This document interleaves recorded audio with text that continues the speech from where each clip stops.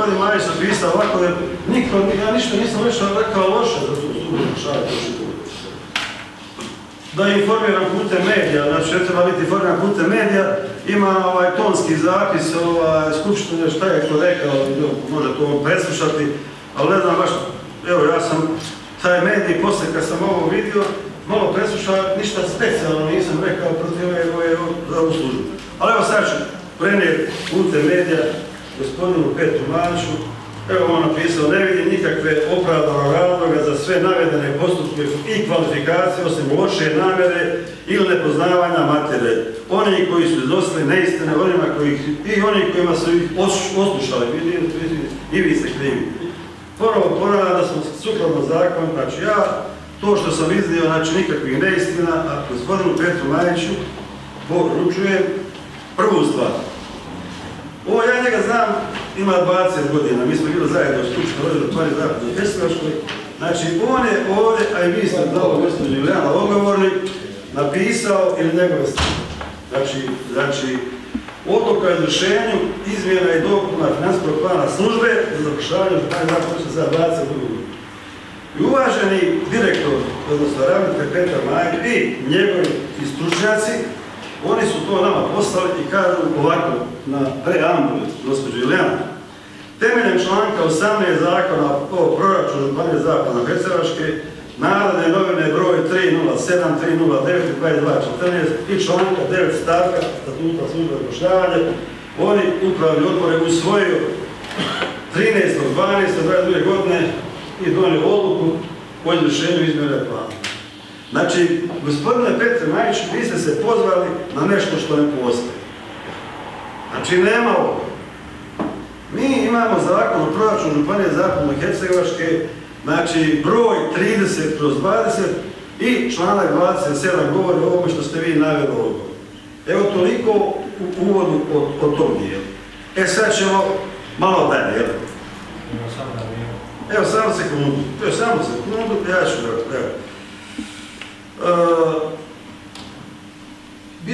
Bila je i ova revizija ovoga, ovih ovdje, znači službe zapošljavanja. Vidite samo recimo kako službe zapošljavanja se ljudi zapošljavaju, ne znam, ministra zdravstva, hoće nas to nastaviti dalje, bez javnog natječaja. Da tamo ima pravilnik, glavnom direktor upravni odbor to primaju, ko će biti primjen, ali baš u službe zapošljavanja.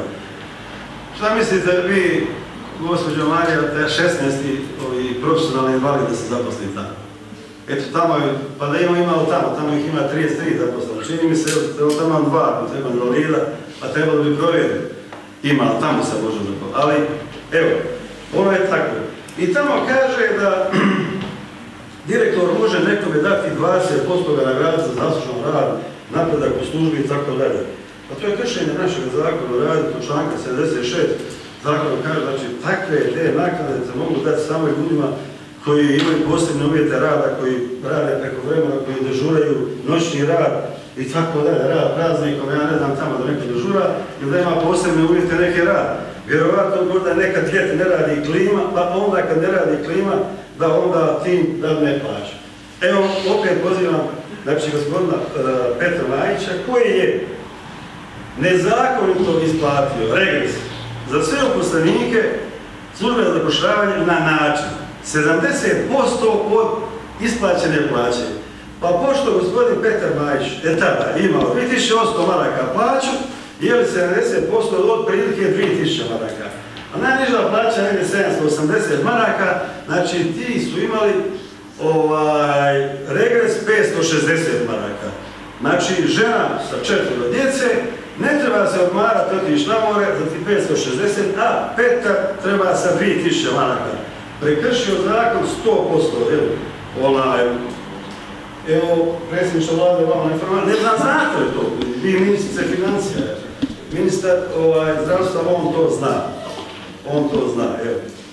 Ali to duše ostavljena je mogućnost da ne mora se isplatiti ovima ta, recimo, koji imaju plaću 100 maraka, nego da mogu, ako i po 70% od prosječne plaće federacije, znači 1100, znači mogu dobiti neki 770 maraka za regres.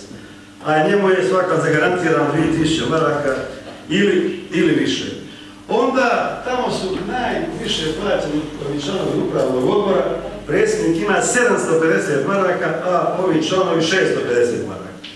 I tako, sad imamo ovdje revizorsku izvješće koliko je uplaćeno, a sam gospodin Petar mi je pomogao ovdje, u svome svom dopisu, samo, samo svom dopisu, koji je rekao i demantirao ove specijalce iz Zavoda zdravstvenog osiguranja. E, Pa je on ovako naveo ovdje u svom dopisu službeni potvrđen kod Sukladno pozitivnim zakonskim aktima, služba za zapošljavanje Županije Zapad Preševo u 22. godini pod kontom zdravstvene osiguranja neuposlenih osoba planirala milijun i 250 tisuća, što je u redu.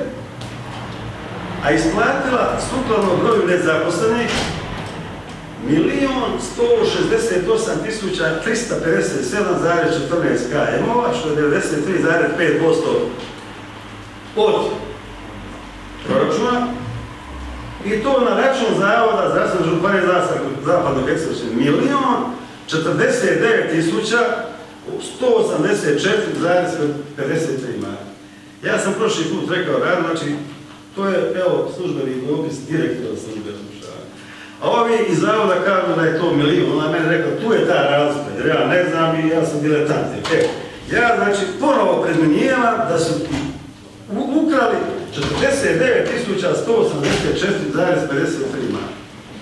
I ovo što je evo, naveo, znači njih je demantirao, zbog toga mu hvala Petru Majiću, ove sa trećeg kata, su oni na trećem katu, dao zdravstveni siguranje, a ovi služba zapošljavaju na drugoj, ili ili obrnuto, evo, što se sam ja prošli put bombastično najavio, gdje je nastalo 250 tisuća, još kad bi tražio ovo, našao bi ja i više gdje je nestalo, i više je nestalo. Evo, evo, toliko moje referiranje na ovaj demanti što smo ovdje tamo vidjeli, evo vidjeli ste, je li jedina institucija na koju je podnošena kaznena prijava. A ovo što se obraća, ja vas molim gospodine za otpor medija da prenesete to Petru Majiću za sve ove njegove zakonitosti i tako te stvari.